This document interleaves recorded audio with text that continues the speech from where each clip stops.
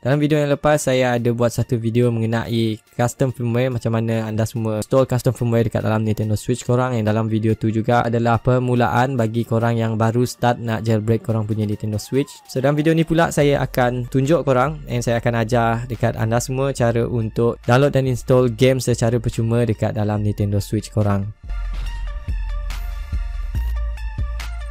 Hai Assalamualaikum. Welcome back to Another Channel. So sebelum korang start Pastikan korang dah set up Korang punya Nintendo Switch. And perkara yang paling penting adalah Korang kena ada Sign Nature Patches. Sign Nature Patch ni adalah Di mana ia akan bantu korang untuk lepas Daripada Bila korang try nak launch games uh, Dia akan cakap select user. So sekiranya korang tak ada Sign Nature Patch uh, Korang tak akan dapat launch games ni. So make sure korang ada Sign Nature Patches yang uh, latest dekat Nintendo Switch korang. So signature page sangat penting sebelum korang boleh start follow apa yang saya buat uh, selepas ni. Kita akan guna tinfoil untuk download dan install games direct ke Nintendo Switch kita. Korang tak perlukan PC untuk uh, download games tu and install ke Switch korang. Dengan menggunakan tinfoil ni, korang akan uh, direct download games tu. Dia akan uh, lepas dia habis download, dia akan auto install dekat Nintendo Switch korang.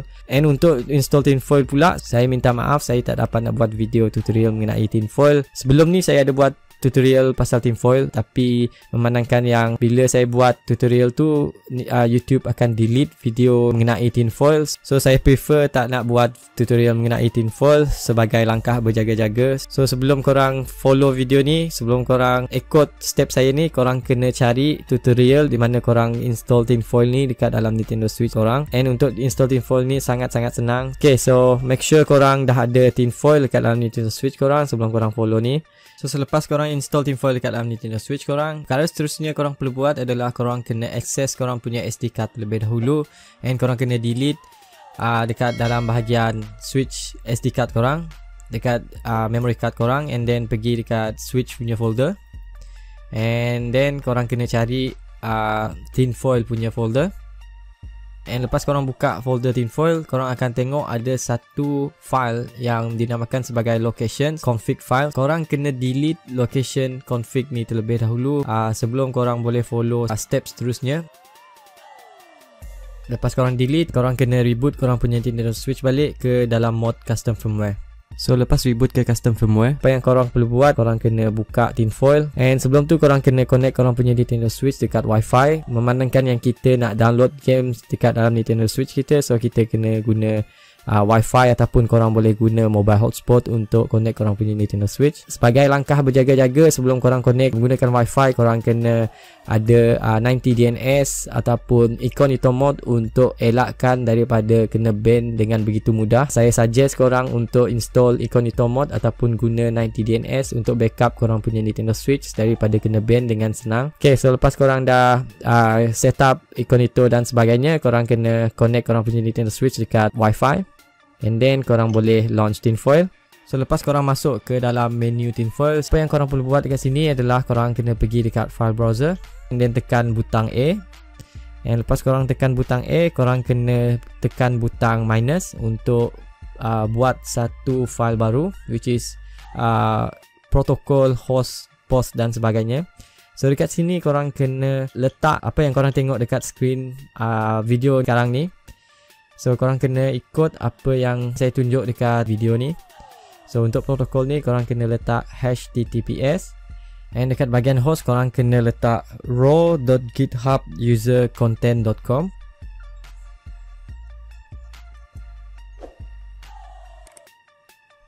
And untuk bahagian path pula korang kena letak carcashchoy uh, slash tinfoil sengkang json slash master slash tinfoil uh, shop.json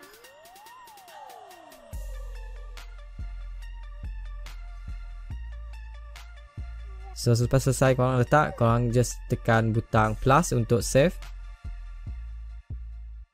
And now bahagian yang terakhir sekali kita kena edit adalah bahagian title. So dekat title ni korang boleh panggil apa je korang nak letak. Mana-mana nama korang boleh letak. So saya akan letak car cash shop. And then uh, macam kita buat sebentar tadi Untuk save uh, tekan butang plus. And then Lepas tu korang kena tekan butang X untuk save semua benda yang kita uh, edit sebentar tadi which is protocol, path dan juga title. And dia akan ambil sedikit masa untuk save uh, kita punya free shop ni. So korang kena tunggu sebentar untuk dia habis loading free shop ni so memandangkan yang free shop ni adalah uh, ultimate free shop which is ke semua free shop yang ada dekat dalam Nintendo Switch ni uh, ini adalah uh, apa yang korang kena letak untuk akses ke semua free shop dekat dalam Nintendo Switch. Okay, so korang akan tengok bila korang dah tekan butang save and tunggu sekejap and korang akan tengok uh, notice ni. So dekat sini dia bagi tahu carcass, choi and uh, love shop sebagainya so just tekan ok ok untuk semua benda yang keluar dekat screen korang. So sekarang ni korang akan tengok ada satu tab baru dekat bahagian kiri. And dekat bahagian kiri ni dia akan bagi tahu new games dan sebagainya. So dekat sinilah korang boleh pilih mana-mana games yang korang nak install dekat dalam Nintendo Switch korang. Mana-mana games yang ada dekat Nintendo Switch ni termasuk game-games yang baru korang akan jumpa dekat dalam free shop ni. And untuk install games tu download dan install korang just pilih game yang korang nak and then tekan butang A. Ok so korang akan tengok ada uh, install dekat bahagian bawah ni. So just tekan butang A. And now dia akan start uh, download games tu ke Nintendo Switch korang. So lepas dia habis uh, download games tu dia akan auto install ke Nintendo Switch korang. So sekarang ni korang boleh tengok yang dekat bahagian uh, bawah install tu dia punya so kelajuan download speed. So korang boleh tengok yang dia nya stuck dekat 0 MB uh, MBS saya tak tahu kenapa benda ni uh, tunjuk 0 uh, MBS uh, sedangkan yang dekat bahagian bawah ni adalah bar. Korang boleh tengok yang dia punya bar ni. Saya akan zoom kamera. So dekat bar tu dia punya download berjalan and dekat MBS ni dia stuck dekat uh, kosong MBS just saya juga tak sure mungkin ni ni bug dia guna tinfoil ni tapi uh, benda tu tak kisah sangat which is dia taklah kacau kita punya proses untuk download games tu so korang boleh just uh, hiraukan benda tu